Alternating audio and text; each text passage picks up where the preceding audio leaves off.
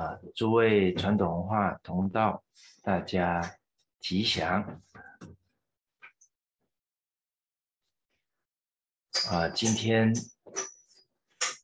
首先感谢我们李老师的祝福啊，啊，希望大家都身心健康、阖家平安啊，啊，社会、国家啊，越来越安定、昌盛。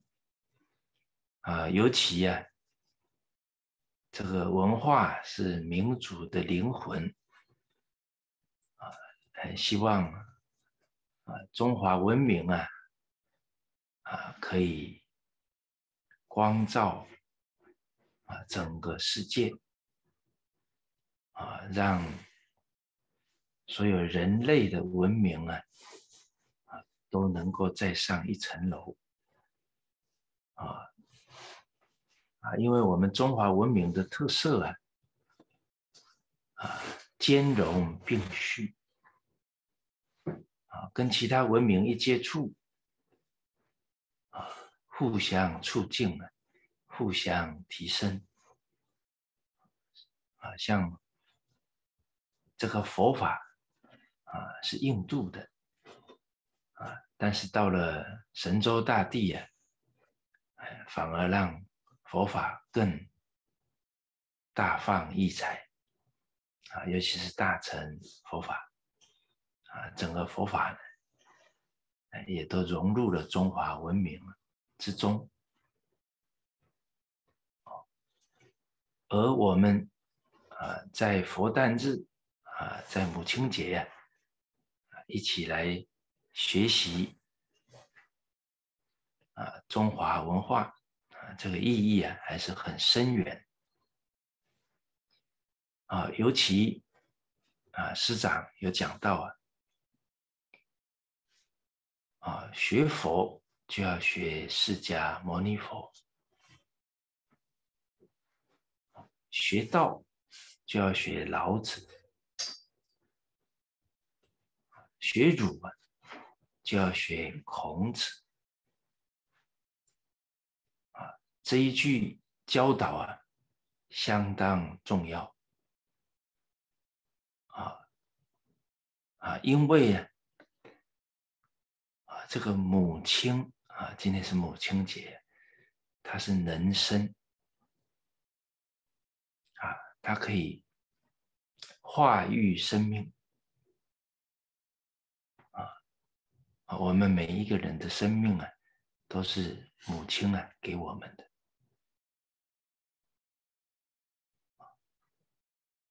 啊，所以师长这里提到了，啊，学佛要学释迦牟尼佛，他是本师根本的老师。啊，假如我们不认识他，可能会学错了。哎，学得很认真，很精进，但是呢，越学越分别，越学越执着。因为佛门的根源呢，是释迦牟尼佛，他是根本的老师啊。他又提醒我们了：末法时期，邪师说法如恒河沙。这个恒河的沙呢，像面粉一样细啊。那恒河沙有多少啊？所以我们得要了解释迦牟尼佛在讲什么，他在表演什么，后世跟他老人家所说所做不相应，那这个不能跟随啊，不然以盲引众盲啊。自己本来就没有觉悟，还好为人师，带一堆人呢，相牵入火坑呢。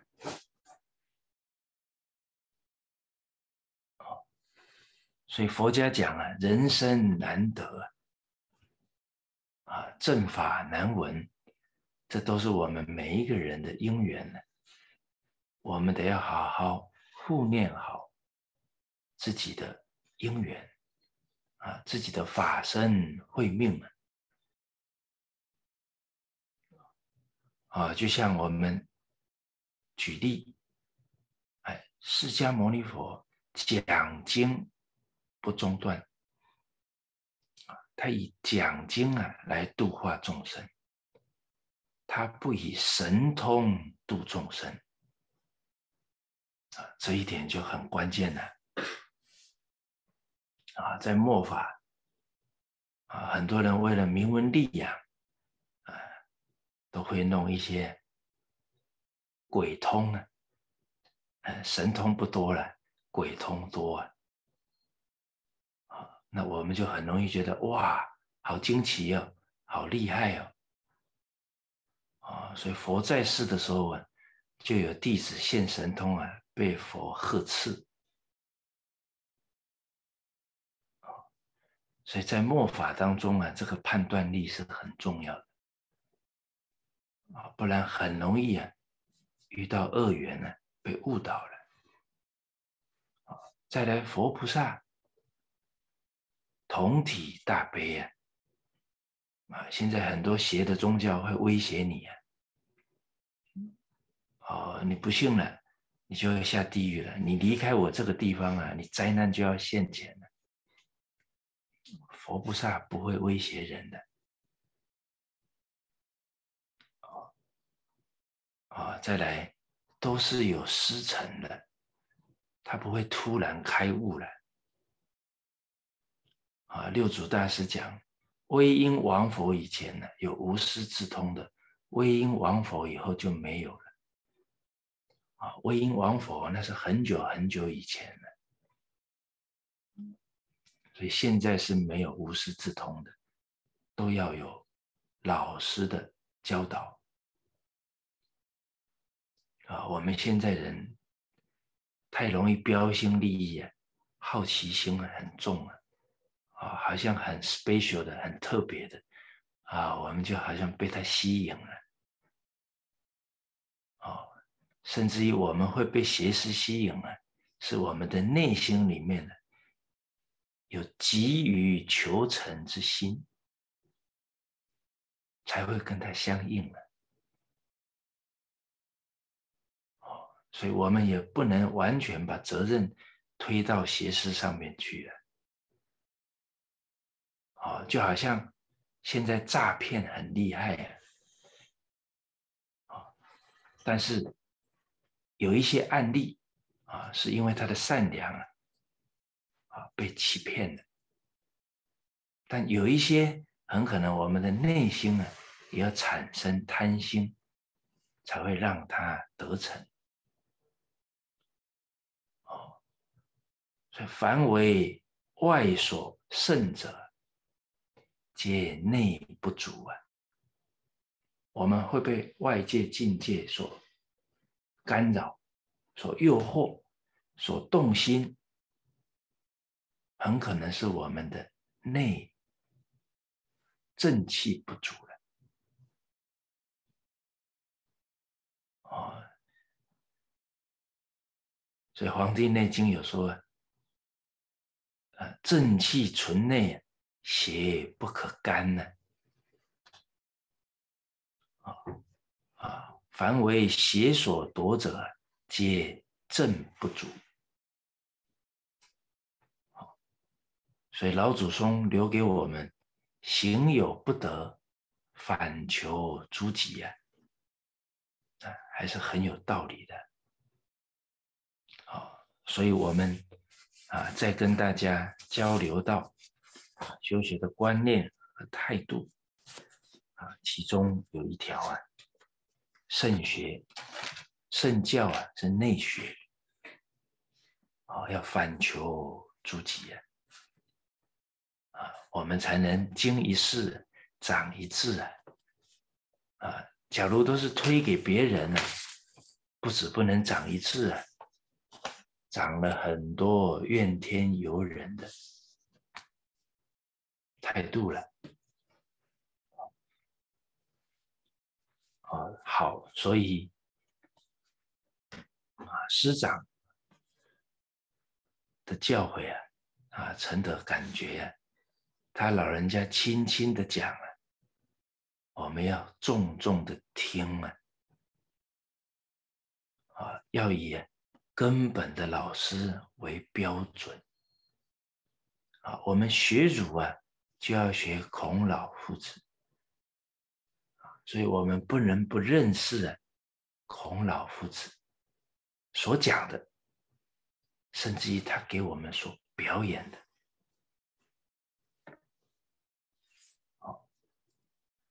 而大乘佛法是建立在儒家、道家的基础之上，啊，这三个文明呢交融在一起呀。不先学小乘，后学大乘，非佛弟子啊！没有基础，没有基础啊，会学成越学越分别，越学越执着啊，甚至于啊，没有办法被社会大众啊所认同了啊，觉得这一些人学执着了。学迷信了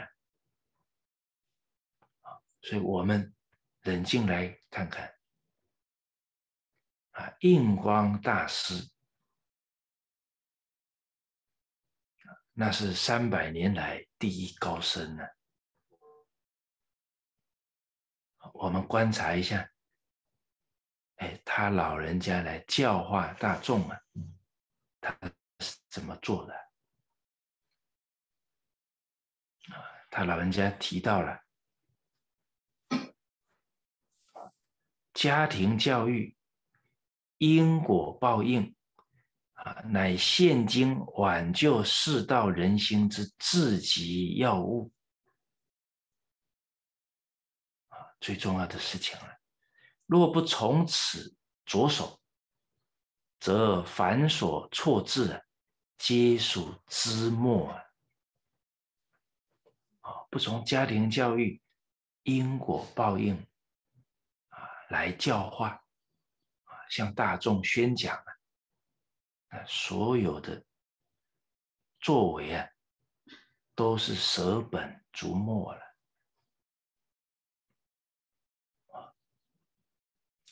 家庭教育忽略了，不信因果了，他假如再学大成。那会学成什么样子啊？会狂了，狂会了都有可能的。哎，印主讲皆可畏为啊，畏是虚了，虚伪了。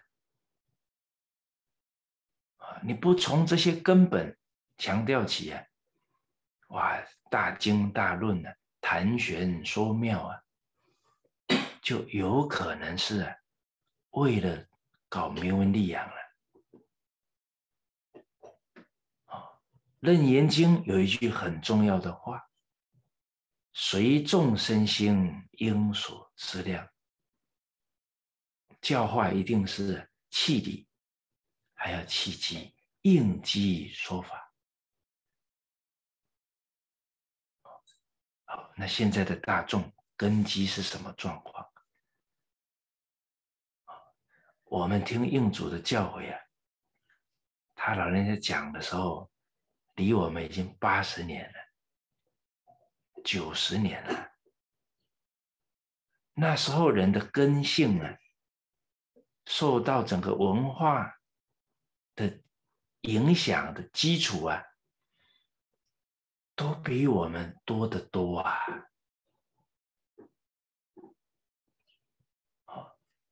所以孔子这一句啊，“君子务本，本立而道生”呢，在我们这个时代非常重要。好，所以今天啊，要跟大家谈的，其中有一点呢，啊，就是重实质，不重形式啊，其中实质的就是我们能不能把根本找到。君子务本呢？哦，所以应主谈到了天下治乱之本呢，在于匹夫匹妇之能敬伦敬奋与否啊！啊，我们每一个佛弟子，甚至于社会大众，能不能尽好本分？天下兴亡，匹夫有责。师长老人家是大乘佛法的高僧啊，弘大乘佛法的高僧呢，啊，特别在联合国有一次专题演讲，题目定了啊，子不教。人心坏了，家不齐，社会乱了。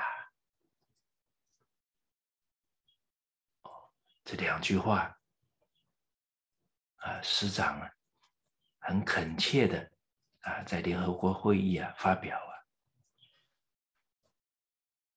啊，我们现在啊，不是学知识背很多啊。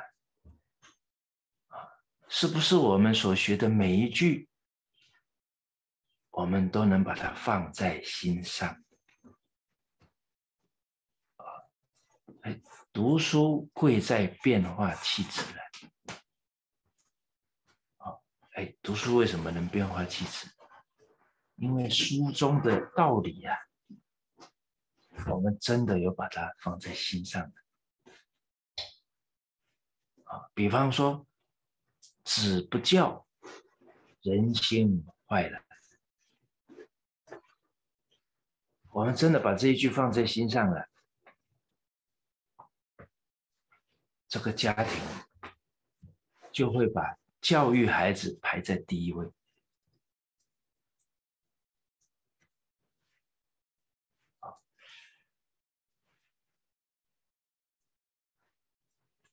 自要。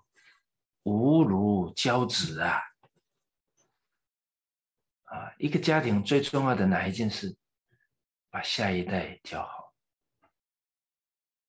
啊，不孝有三，无后为大。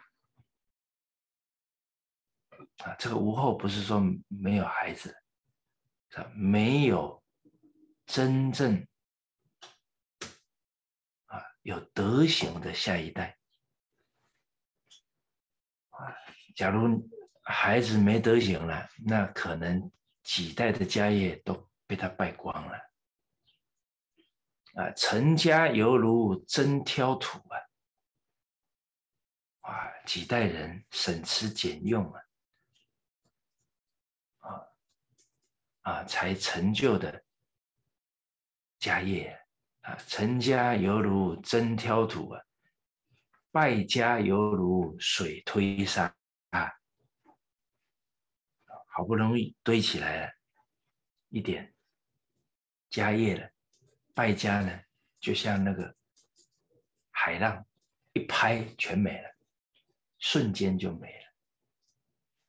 啊，我那一天跟一个企业家在谈话，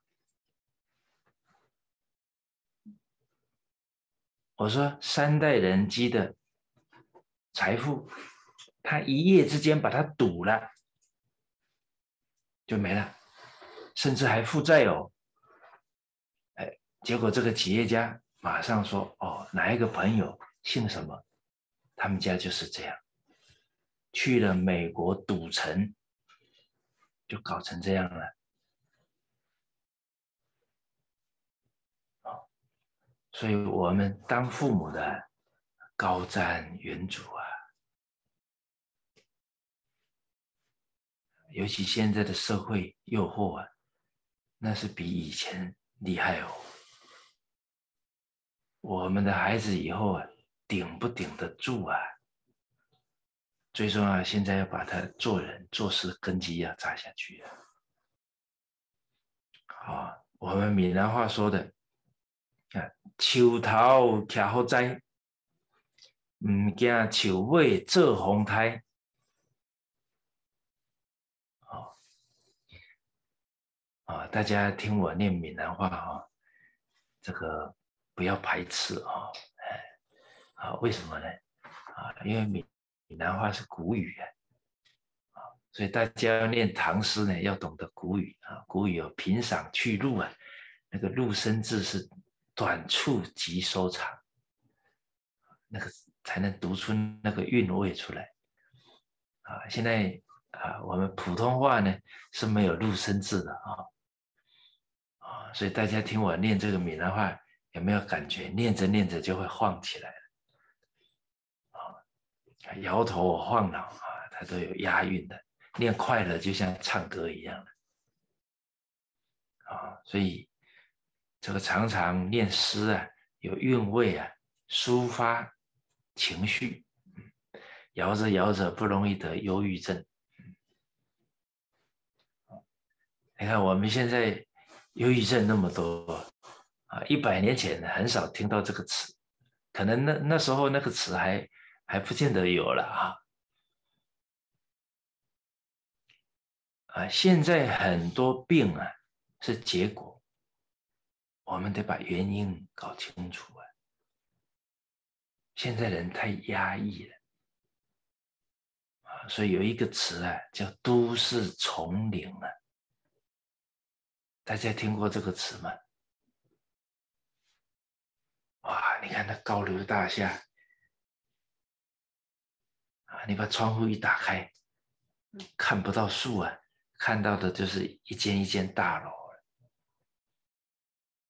啊，人跟天地啊，尤其跟地啊，都隔开来了，也没有踩在黄土地上过啊。然后每天又吸收那么多电子产品啊，这些电子的能量，有没有把这些负面的能量放到大地里面去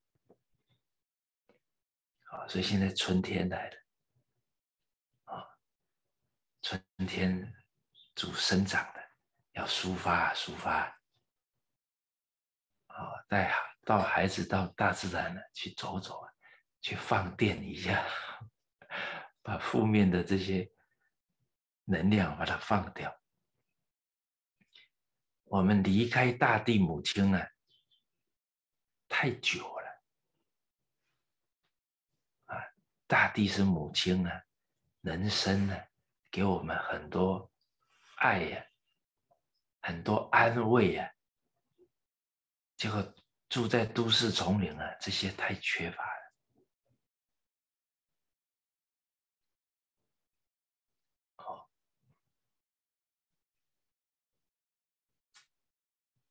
哦，那个啊，刚刚啊。我们这句闽南话讲的，树根扎得很深呢，不怕大风来吹啊，哪怕是台风来了也不用担心。好，所以当父母的人考虑深远，要考虑到孩子未来啊面对哪些环境。那我们。学传统文化，要君子务本，要看得到什么是根本。好，那印光祖师讲了：天下之本在国啊，国之本在家，家之本在身。这句话我们把它放在心上了。天下的安危。根本在哪？根本在我们的修身，尤其是当父母者的修身，对孩子的影响非常大。母亲的影响更大。胎教，三岁以前的教育啊，母亲最重要啊。所以印光祖师强调啊，天下的安危女人家超之一大半啊，所以教女儿啊，比教儿子更重要啊。啊，我们已经成家的修行人呢，最大的功德就是把孩子教好。他能去爱多少人人呢？他能去成多少事啊？谁记头功？他的父母啊。那我们在家的修修学的人，最大的罪过是什么？没有把自己的孩子教好，他会伤害很多人呢，他会坏很多事啊。况且呀，最亲的父母跟骨肉，我们都不能全心去爱他们，说能够去爱众生，无有是处。啊，不爱其亲而爱他人者，谓之悖德。不敬其亲而敬他人者，谓之背离。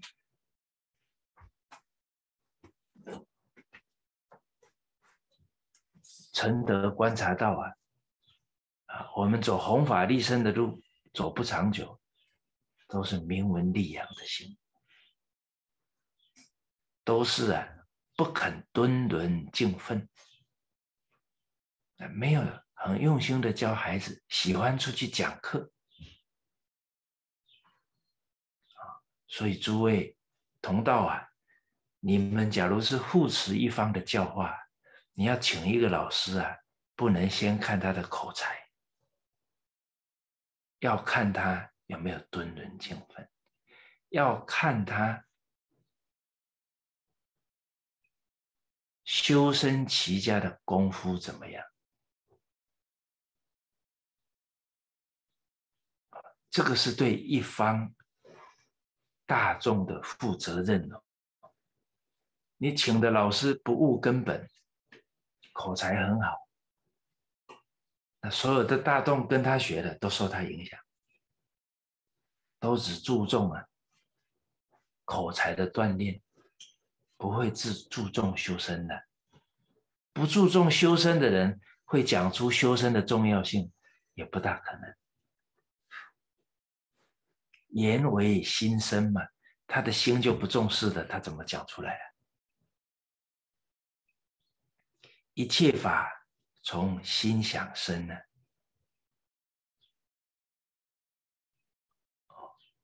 所以我们现在看着印主这些话，我们再不重视他老人家的教诲啊，这个社会就没救了。我们现在给赶快珍惜这些圣者的话，要听老人言呢，幸福才会在眼前呢。哦，而印主啊，还提醒我们呢，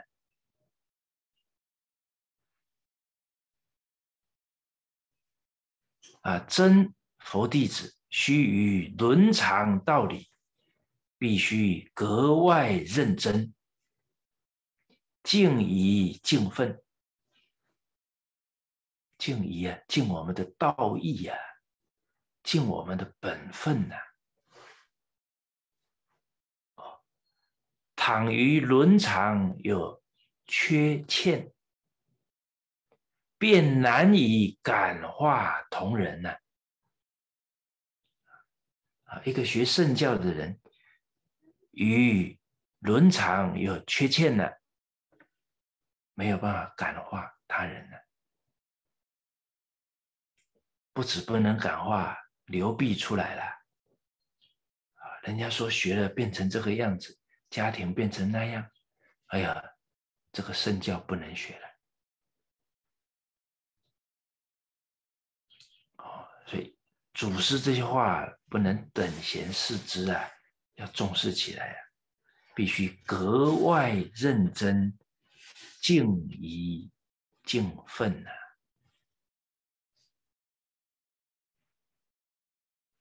哦，所以印主又讲了：家庭日用云为啊，啊，在家庭里面，这家庭教育啊，伦常本分呢，这个是作为成圣成贤的基础啊，啊，对修行人来讲，正所谓啊，急俗修真呐，啊，我们。啊，没有出家，我们就是在在家人，啊，在世俗当中啊，能修出真心来，能真正成就道业，啊，即俗修真，现居士身而说法，己利利人，自利利他。阿难尊者啊，做了七个梦啊，啊，有一部经啊，就是讲阿难尊者做的这七个梦啊。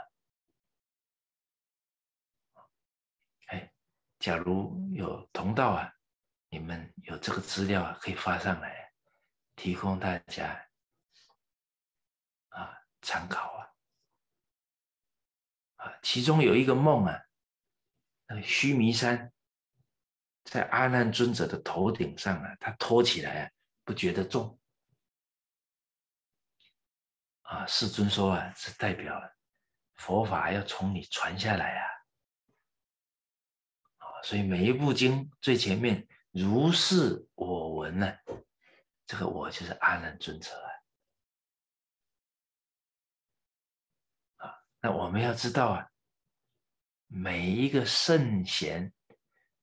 佛菩萨，他都是来表法，来启发我们后面的学人呢。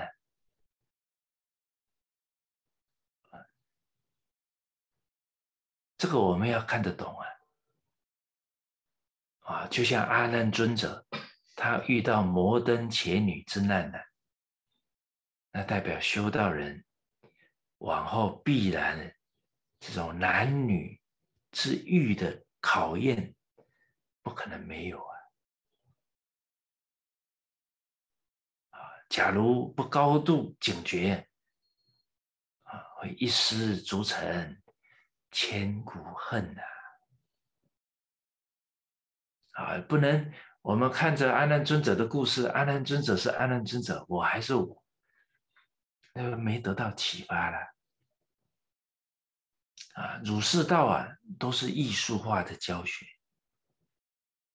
啊。他用艺术，甚至用雕像，甚至啊这些故事，都是来启发我们。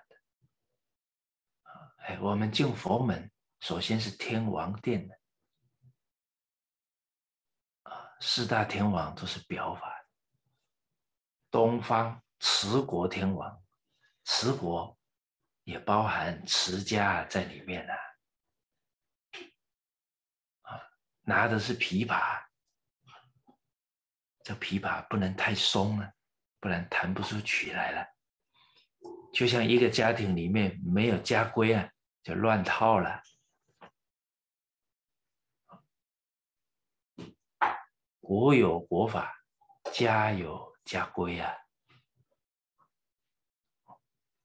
可是太紧了呢，弹断了。看这个家规太严了，孩子离家出走了，啊，甚至于孩子被压得抑郁了，没信心了，啊，过于不及都不对。这个《论语》里面教导我们：过犹不及呀。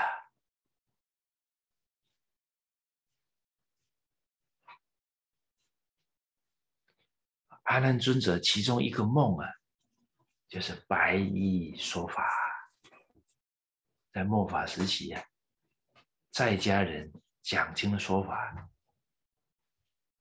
对佛法的红传很重要啊。哎，我讲到这里了，怎么没有看到你们的眼睛发亮啊？好像讲的还是跟你们没啥关系啊。孟子说：“当今之事，舍我其谁呀？”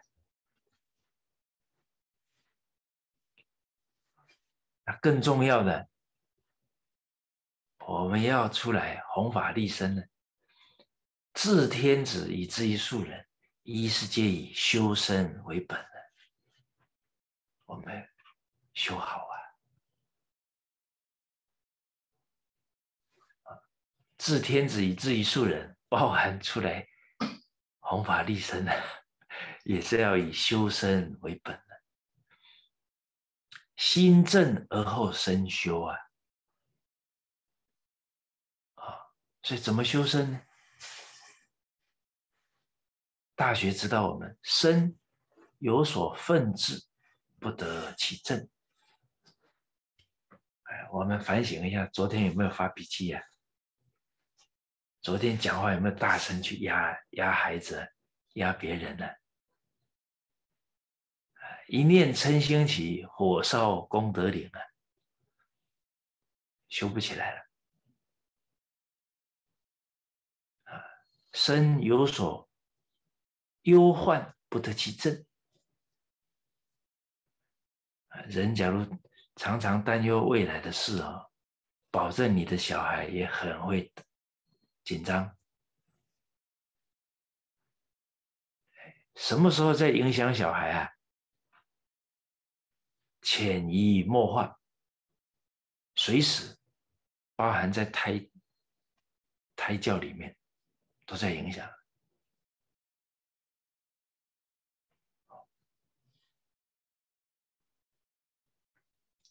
啊，身有所好药，不得其正。哇，那好药，产妇娇平，厌故喜心。孩子都在学，都在无形当中受影响，啊，对人的态度不一样，爱真心呢很重，那种喜欢讨厌的态度啊，常常都在面对人事物的时候就凸显出来了，啊，那这样的爱真心啊。到了团体里面就麻烦了，啊，他喜欢的人哇重用，啊，谄媚他的人重用了，啊，哎，跟他讲真话的他不高兴了，排斥了，那这个团体就没有正气了。这个不是古代是这样啊，现在任何团体。只要主事的人有爱憎的心，这个团体铁定是这个现象，侥幸不得。后人哀之而不见之啊，亦使后人复哀后人矣。好，那我们不能去气这一个一把手，这个领导人生气了，他错是他的事啊。我生气是我错了，一码归一码，不能混在一起啊。别人错了，我们就能在那里发牢骚，在那里发脾气，不对啊！君子有诸己而后求诸人，无诸己而后非诸人。我们没有错了，我们才能去护念别人改过。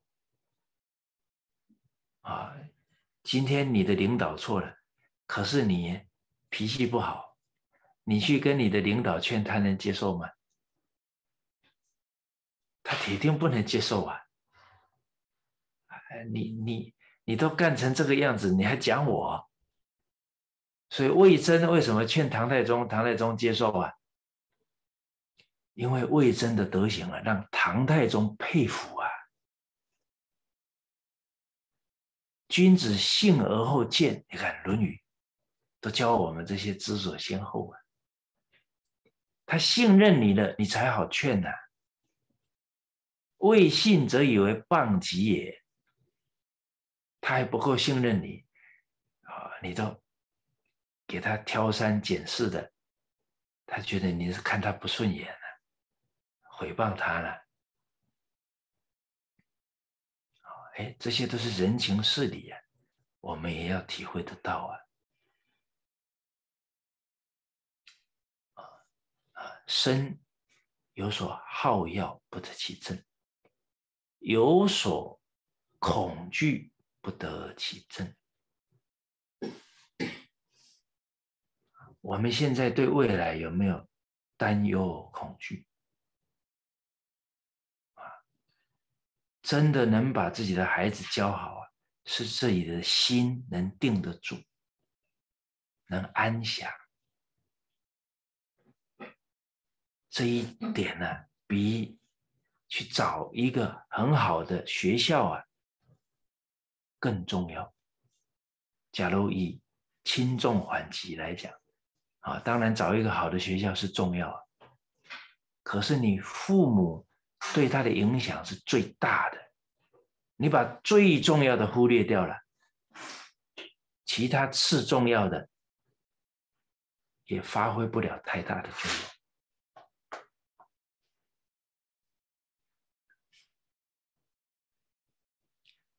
啊，师长讲了，家庭教育是根本的。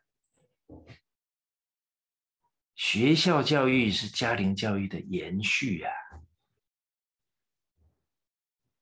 你这个本都没有了，后面的这些殊胜的缘起的作用就有限了。好，我们现在听经听多了，得用心听啊，这些东西都不能划过去的，划过去的，努力一生。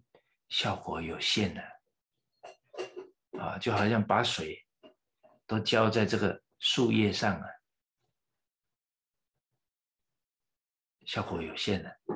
要把水浇在根上啊，把肥料要下在根上啊。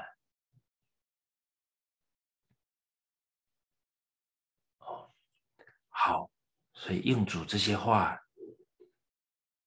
重要啊。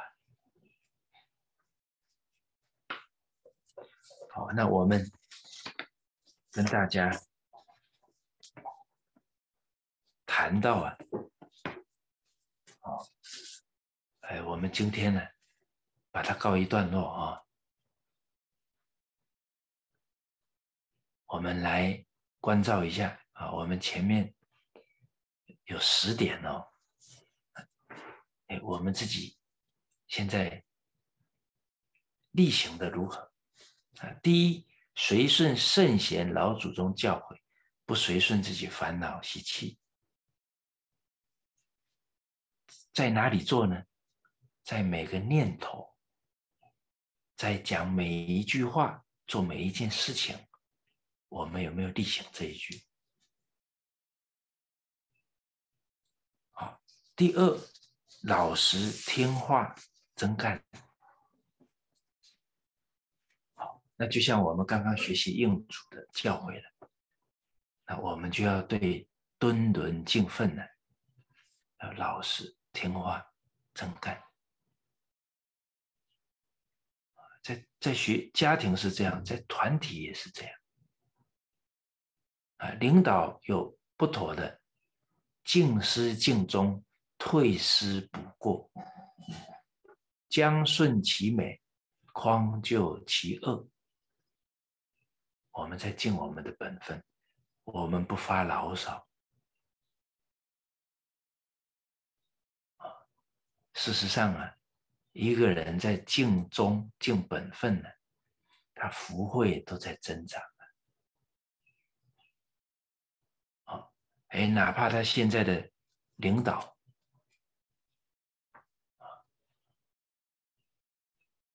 啊，不是啊。这个五伦八德做得很好，但是他尽了本分呢，很可能呢，他以后的姻缘呢会越来越殊胜啊！一切福田不离方寸，跟你的领导没有关跟你所遇到的这些人事都没有关，是真正的福慧都在自己的内心。啊，所以印光祖师，呃，这个六祖大师讲：“何其自性啊，能生万法。”啊，我们的智慧福报啊，都是从我们的心啊生出来的。啊，哎，第三呢，真诚恭敬。啊，真诚恭敬啊，不是激动了。也是重实质不重形式啊！啊，我们这些列的啊这些观念态度啊，它也是相互呼应的，它也不是各自独立的啊。一分沉静得一分利益，十分沉静得十分利益，所以看哪一句还留在我们的心上，这个是实质的。啊，第四啊，圣教是内学，不能把责任推到外面去了。啊，第五呢，主动。哎，我们每一次探讨完，可能提到了一些内容京剧，我们不可能每一句都解深入去解释啊。可是事后我们有没有主动去深入呢？所以，任何儒释道啊，有所成就的，都是主动深入学习的，不是靠别人推的。啊，第六有决心、恒心、毅力。啊，第七啊，不画地自限。啊，第八呢，只有自己是学生。第九啊，用心如镜。第十啊，重视领悟啊，提升自己的悟性啊。今天呢，第十一啊，目前当目其心啊，神教古人呢啊，我们想到啊，文天祥先生啊，在《正气歌》里面说的。啊，择人日已远，典型在树习。风言展书读，古道照颜色。了凡先生说啊，或梦往圣先贤，提膝接影啊。啊，大家有没有梦到？儒释道的圣贤人啊，哦，啊，这一点很重要，所以闹钟响了啊。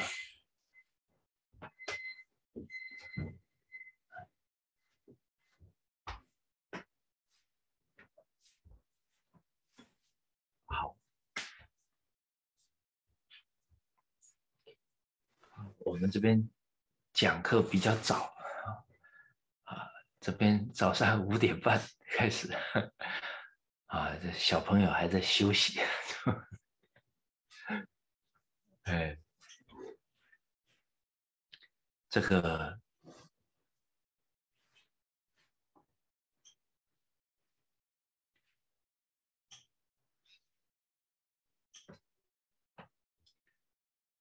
经典呢，所说的呢，每一个人都可以证明的。啊，所以了凡先生说：“或梦往圣先贤，提膝接引，至诚啊，感通啊。”哦，所以孔子呢，常常梦到周公啊，感通啊。哎，我们真的能够体会到哪个圣哲人的心啊？有可能那一天就会梦到他了，啊，所以我们有一个老师啊，啊，他发心呢，啊，啊，学常理举要啊，哎，他就梦到啊李炳南老师了。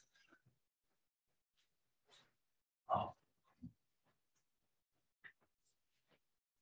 啊，那《了凡四训》里面有一句话讲，啊，谈到改过，有从事上改者，有从理上改者，有从心上改者。其实学习呀，也有从事上学者，有从理上学者，也有从心上学者啊。你看，直接学佛的真心，那是禅宗啊。你看六祖大师啊，不识字，经也没听过，直接悟入本性。只听了半部《金刚经》，何其自性，本自清净，本不生灭，本自具足，本不动摇，能生万法。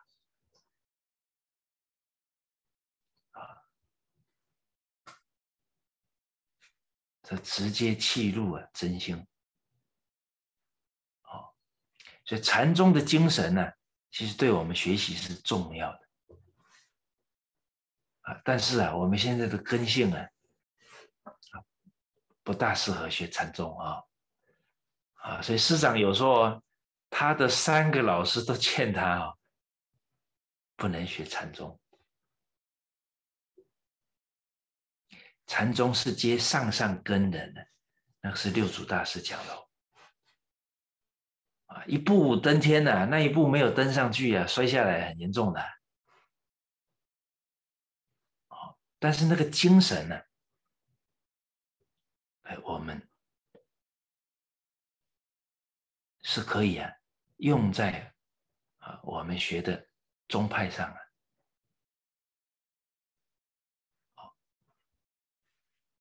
所以要从心上学啊。那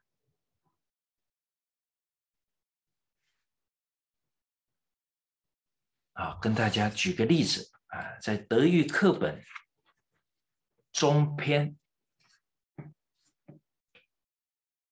啊，这个是啊，德育课本有四大册啊，它属于第二册啊，第二集啊，第第二集啊，有四大四大册啊，四大集。好，那每一集呢，又分四个小册。啊，它是属于啊第二大集，第二小册啊，顺序啊都是以孝悌忠信礼义廉耻啊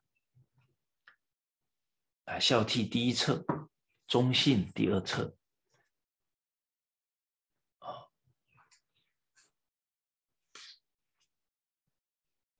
其中呢。有一篇呢，叫做《忠必复正》，正是毒酒啊。有一个很忠诚的婢女啊，啊的故事啊啊，陈德简单的跟大家说一下。好，有一一个大夫啊，大夫啊啊，叫祖父啊，他是魏国人。啊，他到周天子那边呢，去工作，啊，做了两年呢，啊，他回到自己的国家家乡了。结果呢，他的妻子啊，啊，淫乱，啊，对他不忠啊，啊，跟邻人呢，啊，跟邻居啊，私通了。啊，结果啊，就要用毒酒啊来害他。好，结果呢，他的妻子啊，就让这个婢女啊拿毒酒给他喝。这个婢女知道啊，这个是有毒的了。好，啊，当下考虑啊，怎么办呢？啊，我假如给了。那就把主人给害死了啊可是呢，我假如把这个事情说出来啊，可能我这个祖母啊，主人的太太也得死了，他都不忍心啊。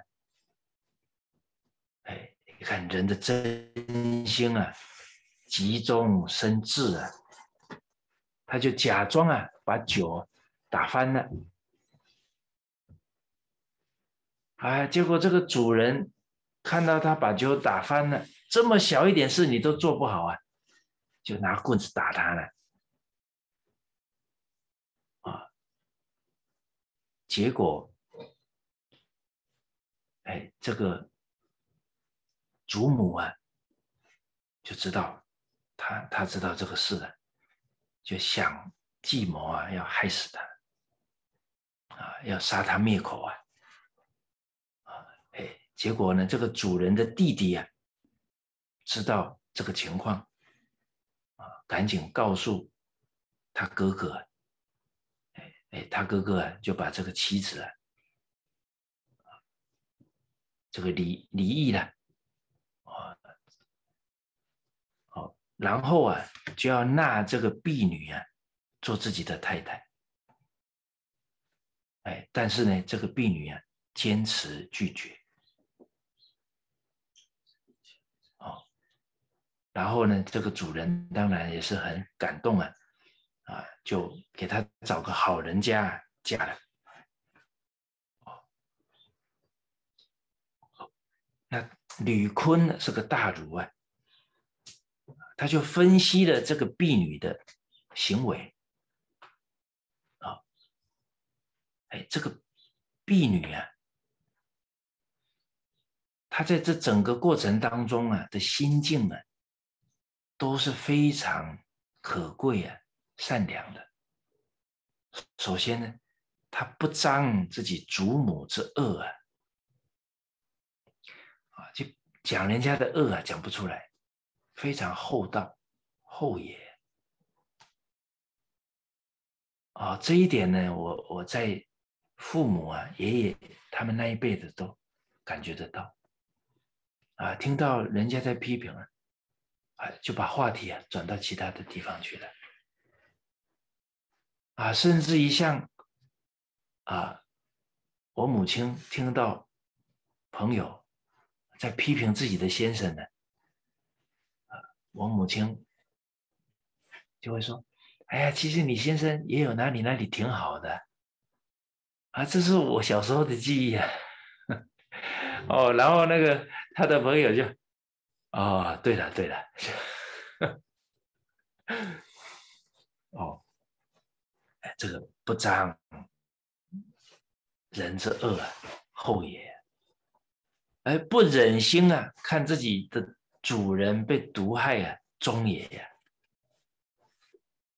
哎，假装酒啊翻了，智也啊，急中生智啊。啊打他啊！主人处罚他，觉得他怎么这一点事都做不好啊？打他打的要命啊！终不言，不把这个事讲出来，真呢，很真烈。然后呢，要娶她为妻啊，他不肯，他不愿意居呢自己祖母的那个位置。就是主人错了，但是呢，在他的心中，他们还是主人，他只是尽他的本分，可是他那个恭敬心呢，还是在。好，我们看这个商汤伐夏桀，那夏桀搞得民不聊生呢，他啊，商汤是臣子啊。他昭告天地呀，啊，没有办法吊民伐罪呀，啊，可是推翻夏朝啊，他也没有杀伤害夏桀哦，把他流放了。这个夏桀也是太夸张了，都已经到这个地步了，他也没有反省。啊，夏桀说：“早知道我就把他杀了。”还是没有反省。啊，所以我们这些圣王，他们的存心都是我们的学处哦。啊，包含这个婢女，让她去做女主人啊，她不肯。所以礼也呀，他是真正有对主人的恭敬。啊，哎，主人对我好，我才恭敬；主人对我不好，我不恭敬。这个叫利害关系呀，讲条件呐。不是义啦，啊，我们成长的环境啊，都是比较功利主义的。我们有没有受影响啊？或多或少啊。哎，我们有时候做一件事情啊，都是先考虑，嗯，对我有没有利益啊？哎，这个都要从心源隐微处啊，才观察得出来了。啊，所以这个吕坤这一位大儒啊，他说这一这个婢女呀的行为啊，可以做我们读书人的榜样啊！啊，连读圣贤书的人都要以他为榜样，更何况是一般的女士啊？也是应该以她为榜样啊！啊，况且她是一个女子，都能做出这样的德恨出来。好，那这个例子，我们目前当慕其心呢？好，他的忠，他的厚道，他的智慧，他的贞洁。啊哦，还有他的礼敬。哦，那我们再讲另外一个例子啊。东汉哎，这个汉朝西汉有一个汉宣帝啊啊，他这个。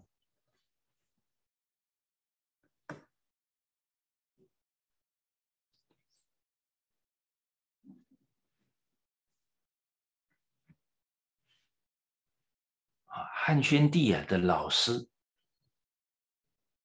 我一下子名字记不起来了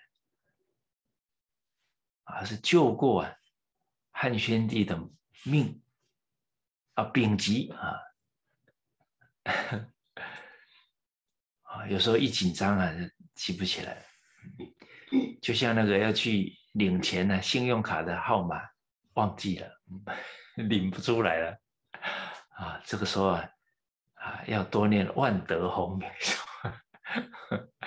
可能就可以想起来了啊。丙吉啊，他是宰相啊，他救了汉宣帝的命啊，他一字不提，这个是真正的忠啊。为什么一字不提？他觉得那是他应该做的。啊，所以诸位同道，你假如听到有一个人说，我挺孝顺的，我敢跟你保证，他不够孝顺。啊，有一个人跟你说我挺谦虚的，我保证你他不谦虚。啊，不炫己长啊，他是在标榜自己的。哦，所以真正的孝子啊，他只觉得他做自己做的还不够，他怎么可能去说我很孝顺呢？所以丙吉啊都觉得那是我应该做的，做完心里痕迹都不露，就像孝子侍奉父母，他侍奉的很欢喜很安心，他不会记在心上的，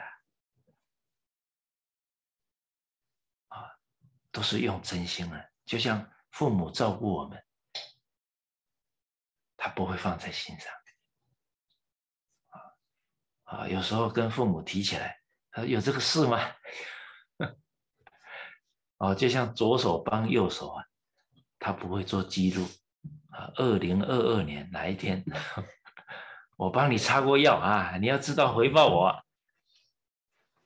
同体呀，他不会去记的。结果这个丙级呀，啊，用现在的话来讲，他是国家总理呀，哦，他出外了，哎，看到有有人呢起冲突了，可能呢会伤及生命了，结果啊，他看一看。没有去管，走了。哎，过了没多久啊，看到了一只牛啊，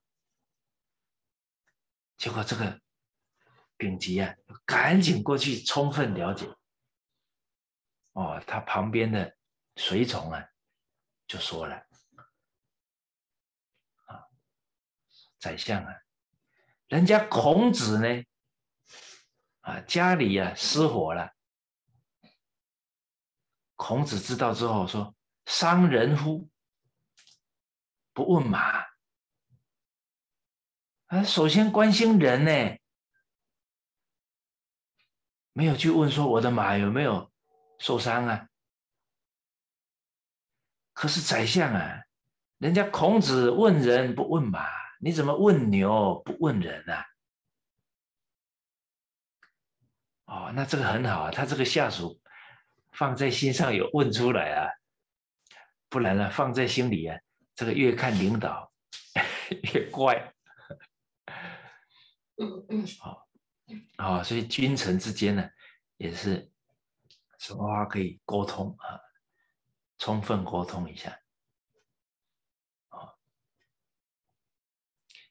结果丙吉就讲了，啊，这个人与人冲突了，我有判断了。当地的官员已经到场了，在处理了，我就不用再插手了。啊，大家想一想啊，啊，哪一个村哪一个镇出了一件事情，总理来管，你看当地的官员会不会吓坏了？哦，哎，做事哎也是人情事理在里面啊。啊！但是为什么看到一头牛要充分了解呢？这个牛假如得了牛瘟了，这个耕作有问题，百姓吃不上饭呐，这不是一件小事了。我赶紧得去了解清楚了。哦，后来是因为这只牛不乖，啊，被主人追得太厉害，在那里喘气了。好。所以这个是目贤当慕其心呢，啊，人家丙吉学孔子是学的很到位啊，谁能做出来是问牛不问马，啊不啊不，对不起，问牛不问人啊，好，哎，所以这个我们都要体会到。跟随师长的学生呢，没有用心去观察他老人家的心境。老人家在修忍辱啊，他可能觉得老人家懦弱了，他就离开了，太可惜了。大家要了解，在这个时代呀，善事常易败呀。善人常得棒啊！成就一件事不容易啊！你看师长老人家就发心学释迦牟尼佛，结果呢，睡过火车站呢，多难啊！啊，两条路，要不啊还俗，要不赶金灿。这个时代你做坏事啊，没人。可能还没人纠正你啊，做好事啊，挑战不少啊，哎，所以啊，在那么难的时代，啊，能遇到啊讲义气的韩馆长，啊，愿意让他呢讲经弘法不中断，这样已经很难啦。你还要去要求韩馆长脾气要小一点，那可能这个缘呢就不一定保得住了。啊，所以在这个时代啊，你要抓那个最重要的，你不能要求东要求西呀，要求到最后，很多不错的机会啊就走了。这种情况我见了不少啊，我所认识弘法的人啊，就没有体会到啊老法师这一点了，啊，结果就对人家护持的人要求太多了。挑三拣四啊，最后离开了，换了三个地方、四个地方了，越换越没福报。都说自己是老法师的弟子，可是有没有观察到老人家处事待人，怎么考虑的，怎么存心的？你看师长老人家。感恩韩馆长啊，啊，让学生每一年都要纪念韩馆长啊，念恩呐，啊，韩馆长脾气多大，对待他，心里痕迹都不露，念恩忘怨呐，啊，这些地方啊，我们都要能观察到，进而学习他老人家。一切法得成于忍呐，忍不住情绪，忍不住脾气，脾气以前所过做，可能前功尽弃了。好，我们看下一点，第十二，重实质啊，不重形式啊。我们翻到讲要五百二十四页。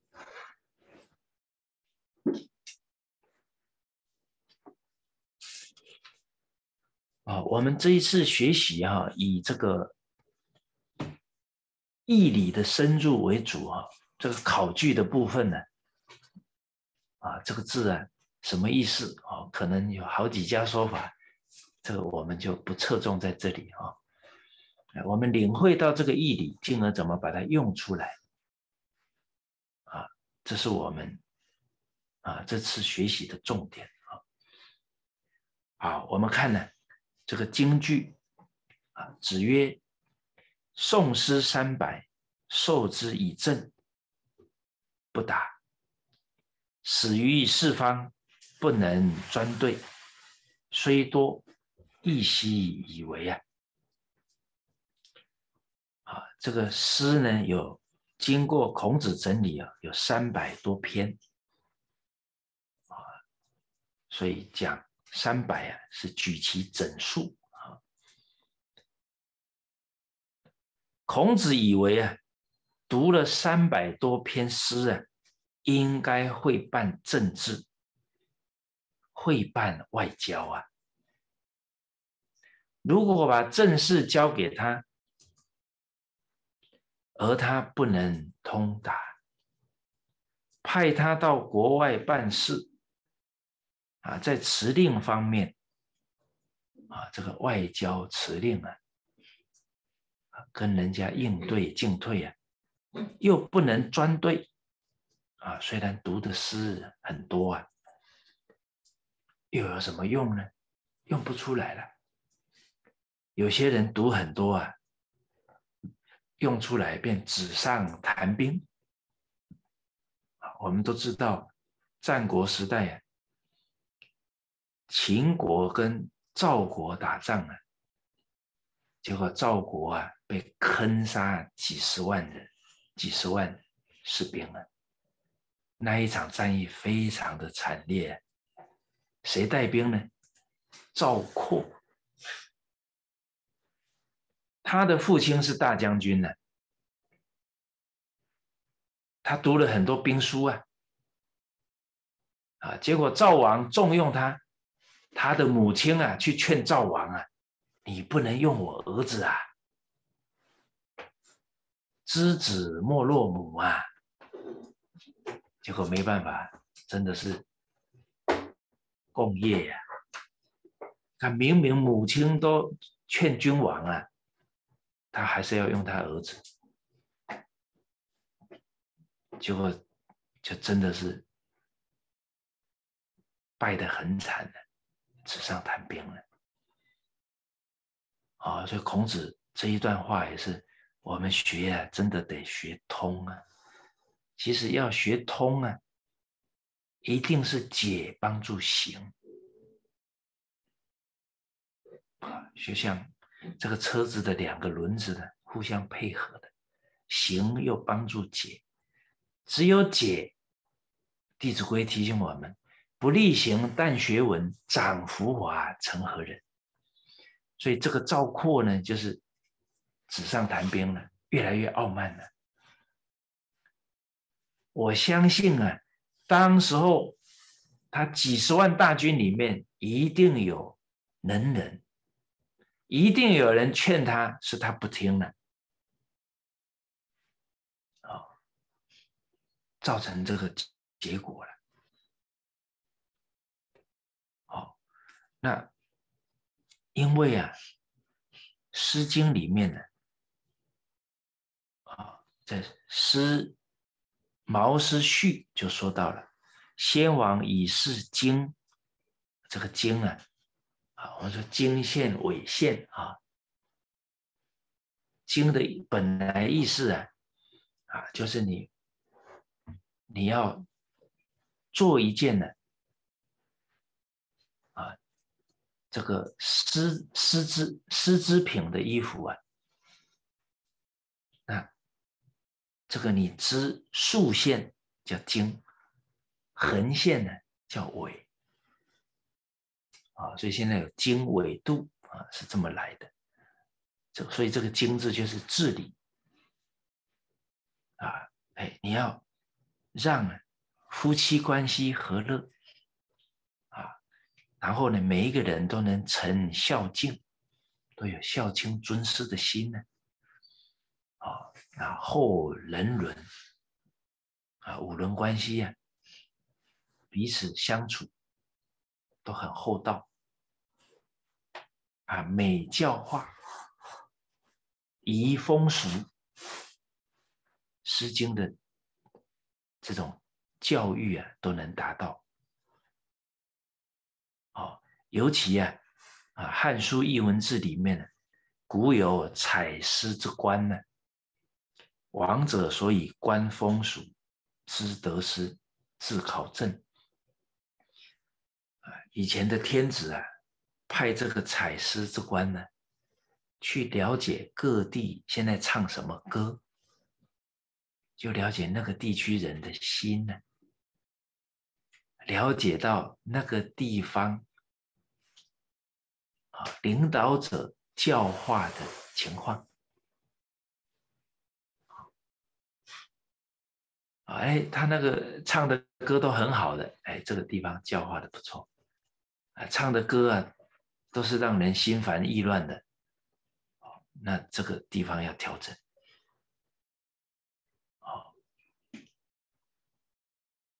啊，可能要派不同的人去治理了。好，那这些这些地方的诗歌啊，啊，所以诗分为风、雅、颂三种不同的啊类型。这个风就是国风啊，啊，风气呀，风化。啊，还有一个意思叫讽刺，就是暗中提醒哦，所以以前的人呢，很厚道啊，啊，直接讲人家的问题啊，他觉得不舒服啊，他暗示他。啊，我们看《诗经》第一首《关雎》，关关雎鸠，在河之洲，窈窕淑女，君子好逑。啊，那代表这个这这个鸟呢？它是重情义的，所以提醒人什么，不能不如鸟啊，可以人而不如鸟乎啊，啊，这暗示人呢，啊，要重贤重德，不能重色啊。所以贤贤易色。啊，子夏曰：“贤贤易色。”哎，这个就关雎守重这个夫妻人伦的意义在里面。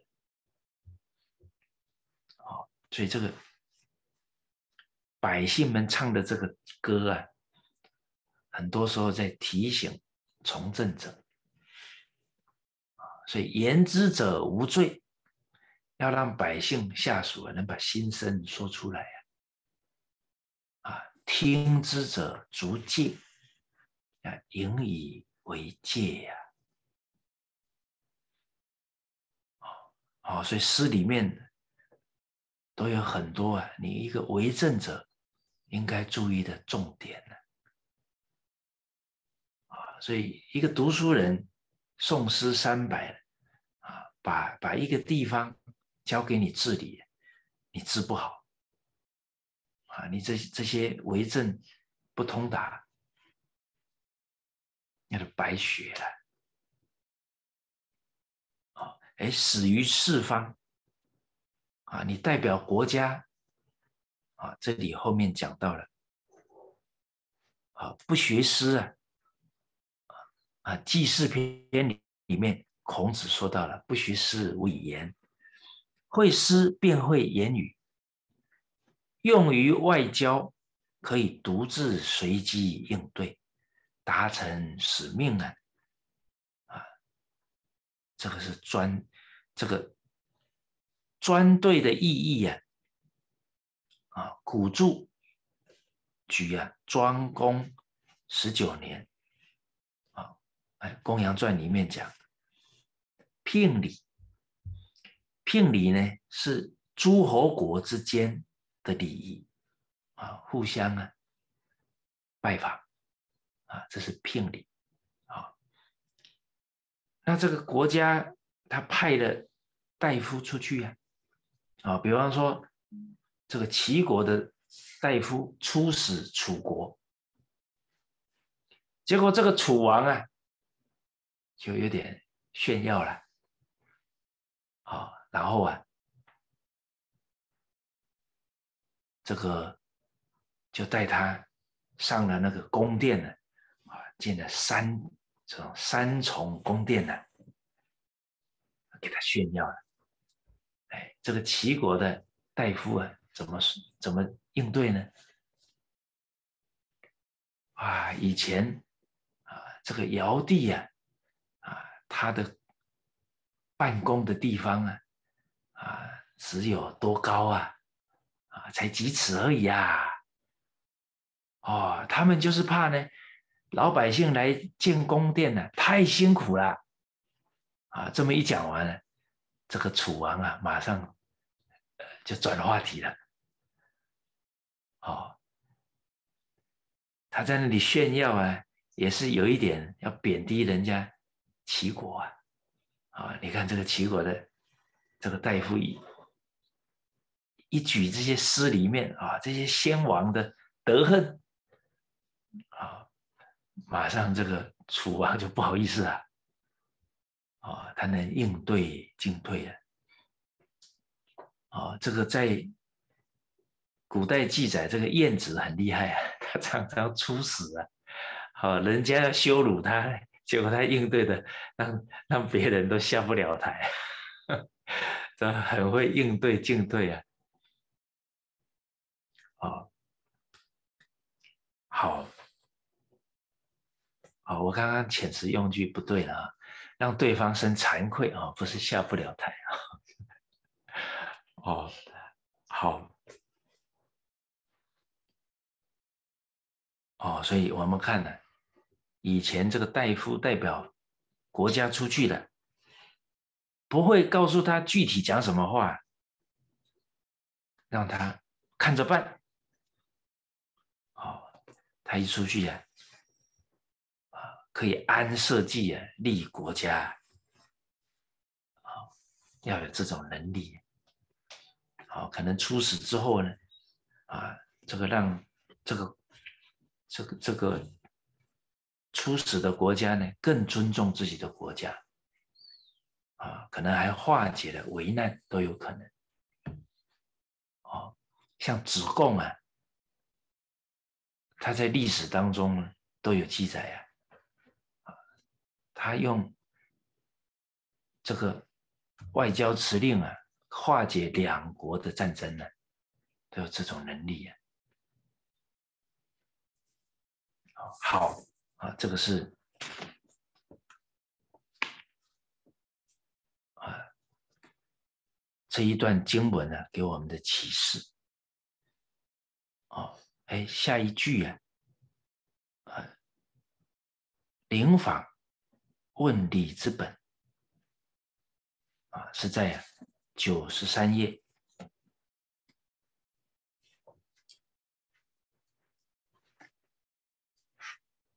啊，子曰：“大哉问！啊，与其奢也。”宁俭，三与其义也，宁戚。